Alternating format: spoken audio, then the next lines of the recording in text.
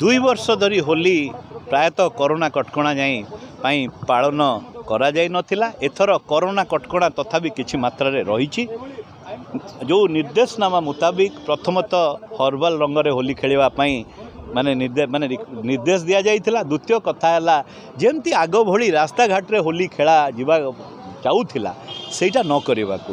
ମୁଁ ସବୁଠୁ ବଡ଼ କଥା କହିବି ଦ୍ୱୈତନଗରର ଜନସାଧାରଣ ପ୍ରାୟତଃ ଏଇ ଯେଉଁ କଟକଣାକୁ ମାନିକି ଚଳୁଛନ୍ତି। ମୁଁ ପ୍ରଥମେ ଦ୍ୱୈତନଗରର ଜନସାଧାରଣଙ୍କୁ ପୋଲିସ କମିଶନର ହିସାବରେ ହୋଲିର ହାର୍ଦ୍ଦିକ ଶୁଭକାମନା ଜଣାଇବି।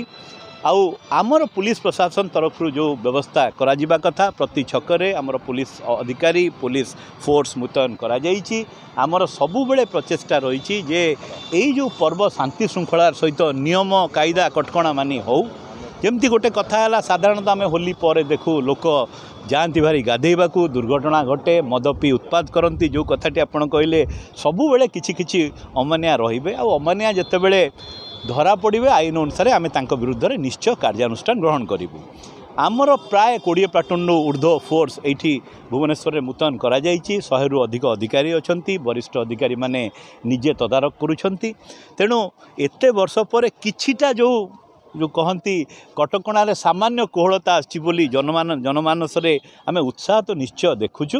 କିନ୍ତୁ ସବୁଠୁ ବଡ଼ କଥା ହେଲା ଆମର ଏ ସାଙ୍ଗେ ସାଙ୍ଗେ ନିର୍ବାଚନ ବି ଚାଲି ମାନେ ଅର୍ବାନ୍ ଲୋକାଲ୍ ବଡ଼ି ନିର୍ବାଚନର ପ୍ରଚାର ବି ଚାଲିଛି। ଏ ସବୁକୁ ଆଖି ଆଗରେ ରଖି ଆମେ ପୋଲିସ ବନ୍ଦୋବସ୍ତ କରିଛୁ।